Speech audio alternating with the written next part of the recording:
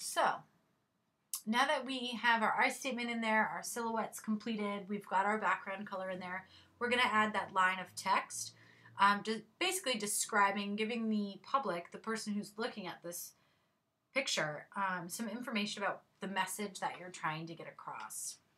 So again, we're going to use the type tool.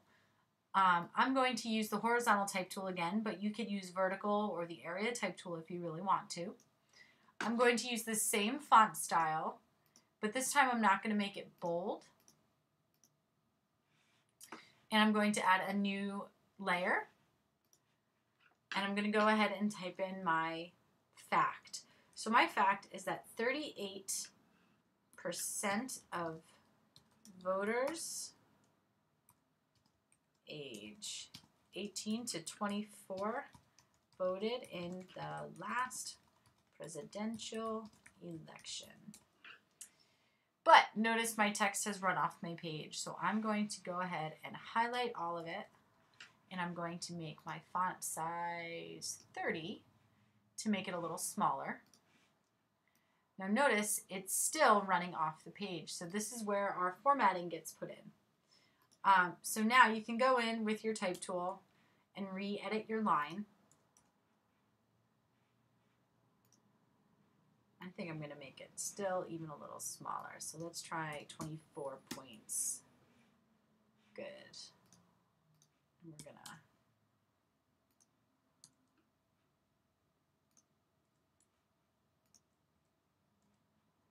Oops. Election. All right, so you just play with your line. Now you can also play with paragraphs. So this is called left aligned. You can center it or you could have it right aligned if you wanted to. Which looks like this.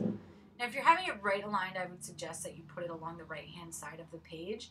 Having something right aligned does make things a little bit visually confusing for your readers since we're a country that reads from left to right. So I would recommend you either use center or left aligned.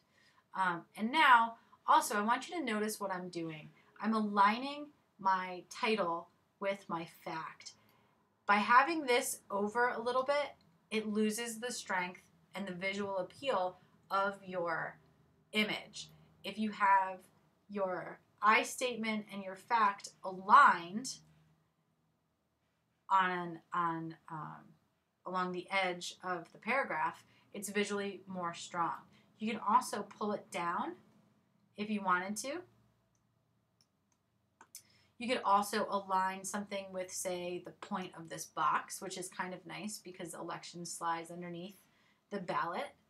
I could align it with the edge of the ballot so it's at an angle if I wanted to. So you could do something like that if you really wanted to. Um, I'm going to keep mine horizontal and I liked the way it looked underneath here. And I'm also going to change the color back to white because I want my I vote to stand out. So I'm going to change it to a white. And there we go.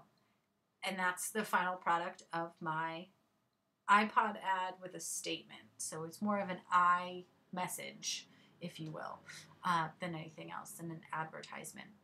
So go ahead and save this once you have finished adding in your fact. Uh, make sure all your words are spelled correctly. There is a spell check in the edit drop down menu if you want to use spell check in here, and then save it and print it off for me once you have finished. Great job.